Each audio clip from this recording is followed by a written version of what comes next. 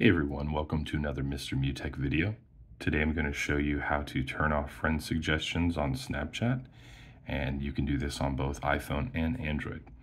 Alright, so let's get started. The first thing you're going to want to do is open your Snapchat app. Once you open that, you're going to want to tap on your Bitmoji in the top left corner and then after that you're going to want to go to the gear icon in the top right corner. Now, after you go there, you're going to scroll down a little bit and you're going to notice a spot that says notifications. And once you go there, you're going to see a lot of different types of notifications. Now, it's up to you what you want to get rid of, but this is the section that you are wanting to turn off now, friend suggestions. So tap on that and go back and you are all good to go. You won't get those notifications anymore. Hopefully that was helpful. If it was, feel free to like this video and you have an awesome day. Take care.